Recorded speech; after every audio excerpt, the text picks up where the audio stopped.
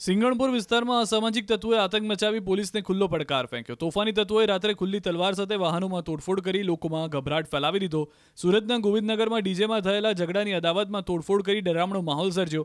ગોવિંદનગરથી લઈને બહુચરનગર સુધી પાર્ક થયેલા વાહનોને અસામાજિક તત્વોએ ખુરદો બોલાવ્યો. તલવાર સહિતના ઘાતક હથિયારો સાથે માથાભારે તત્વોએ આતંક મચાવ્યો. કાર અને બાઇક સહિત દસ જેટલા વાહનોમાં તોડફોડ કરવામાં આવી. હુમલાની ઘટનામાં એક યુવક પણ ઘવાયો હતો.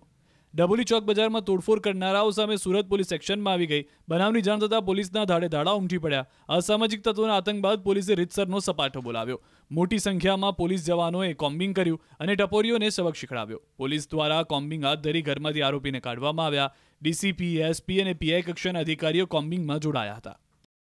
સુરતનો વેરોડ વિસ્તાર એટલે કે સૂર્યા મરાઠી ગેંગનો જે રીતે આતંક અહીંયા જોવા મળતો હોય છે, ત્યારે સુરત પોલીસ એટલે કે ચોક બજાર અને સિંગનપુર પોલીસ દ્વારા શરૂ કરવામાં આવ્યું છે. સમગ્ર વિસ્તારમાં કોમ્બિંગ દ્રશ્ય સીધા જોઈ શકાય છે કે લોકોના ઘરોની અંદર પ્રવેશી પોલીસોએ ઘાતક હથિયારો કબજે લેવાની શરૂઆત કરી છે. જોઈ શકાય છે કે જે તલવારો છે એ ઘાતક તલવારો લોકોના ઘરમાંથી મળી છે. એટલે કે મોટા પ્રમાણમાં વિસ્તારમાં કહી શકાય કે જે પ્રકારે અસામાજિક તત્વો હોય છે. છાસવારે હંગામો થતો હોય છે, તોડફોડ થતી હોય છે, ત્યારે પોલીસ દ્વારા મોટા પ્રમાણમાં કોમ્બિંગ શરૂ કરવામાં આવી છે. હું દ્રશ્ય સીધા બતાવીશ કે પોલીસ દ્વારા જે પ્રકારે કહી શકાય કે આ વિસ્તારમાં કોમ્બિંગ શરૂ કરવામાં આવી છે. એક એક ઘરમાં પ્રવેશ કરીને ચેક કરવામાં આવી રહ્યું છે જ્યારે આ વિસ્તારના ડીસીપી પિનાકીન પરમાર છે. આપણે સીધા એમની સાથે વાત કરીશું. પરમાર સાહેબ, શું કહેશો? કેમ આ કોમ્બિંગ ગઈકાલે રાતના સિંગણપુર પોલીસ સ્ટેશન વિસ્તારમાં અને ચોક બજાર પોલીસ સ્ટેશન વિસ્તારમાં બે ગુના અલગ અલગ દાખલ કરેલા છે.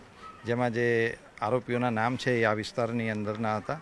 અને એ લોકોએ ભયનું વાતાવરણ ઊભું કરી પ્રજામાં. એ રીતનું એ લોકોનું કૃત્ય હતું.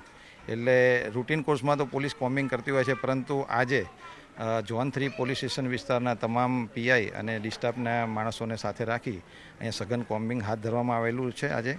જેમાં પ્રોહિબિશન રિલેટેડના જે આરોપીઓ હોય એમસીઆર કાર્ડ હોલ્ડર હોય હિસ્ટ્રી સીટર્સ હોય, એકસો પાંત્રીસના ગુનામાં અગાઉ પકડેલા હોય, આવા તમામ ઇસમોના માણસોને ચેક કરવામાં આવી રહેલા છે અને જો એમાં કઈ વસ્તુ મળશે તો પોલીસ સખતમાં સખત કાર્યવાહી કરશે. પોલીસ કર્મચારીઓના હાથમાં ઘાતક આ એ કોમ્બિંગ દરમિયાન જ ઘરમાંથી મળેલું છે એટલે એની લીગલ કાર્યવાહી ચાલુ છે એનો અલગથી ગુનો દાખલ કરવામાં આવશે અને કડકમાં કડક હાથે કામગીરી જે પ્રકારે વિસ્તારમાં બુટલેગરોનો આંતક હતો અને અસામાજિક તત્વો દ્વારા કહી શકાય કે જે પ્રકારે તોડફોડ કરવામાં આવતી હોય છે ત્યારે ફરી એક વખત તમામ લોકોની ધરપકડના ચક્રો ગતિમાન કરવામાં આવે છે અલગ અલગ વિસ્તારોમાં કોમ્બિંગ કરવામાં આવી રહ્યું છે અને જે પ્રકારે કહી શકાય કે લોકોના ઘરોમાં તપાસ કરવાની શરૂ કરતાની સાથે ઘાતક હથિયારો એક પછી એક પોલીસના હાથમાં આવી રહ્યા છે. કેમેરામેન ભરત બ્રહ્મભટ્ટ સાથે કીર્તેશ પટેલ, ન્યૂઝ એટીન ગુજરાતી, સુરત.